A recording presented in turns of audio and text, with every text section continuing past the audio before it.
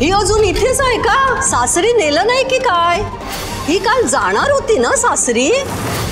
जोपर्यंत आपण एखाद्या गोष्टीची परीक्षा करत नाही टेस्ट करत नाही तोपर्यंत ती चांगली आहे की वाईट हे कळतच नाही ना आपल्याला. म्हणजे?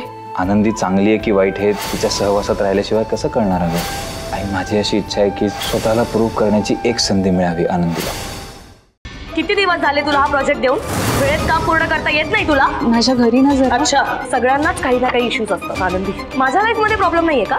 काल माझी एंगेजमेंट मोडली आहे आनंदी. तरी ते सगळं मी ह्या ऑफिसच्या दाराबाहेर ठेवून इथे कामावर हजर आहे. आणि तू मला हे एक्सक्युजेस देतेस यासाठी तुला मी कामावर ठेवलंय आनंदी?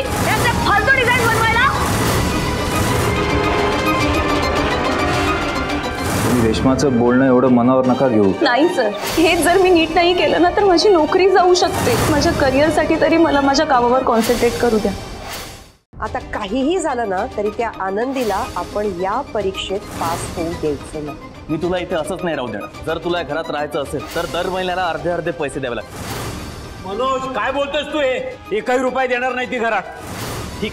मग राहा तुमच्या मुलीला घेऊन इथे. मी जातो एका महिन्यात आनंदी कसं प्रूव्ह करणार आहे की ती या घरची आदर्श सून कुठल्या बेसिसवर मी तुला सांगतोय सार्थक या मागे या लोकांचा नक्कीच काहीतरी डाव आहे. आणि हे सुद्धा काकूच्या मनात माझ्या आईनेच भरवलं असणार. मी तुला सांगतोय ना. जर मी काहीही केलं तरी त्या मला कधीच स्वीकारणार नाही. तुम्ही लढायच्या आधीच का हार मानताय?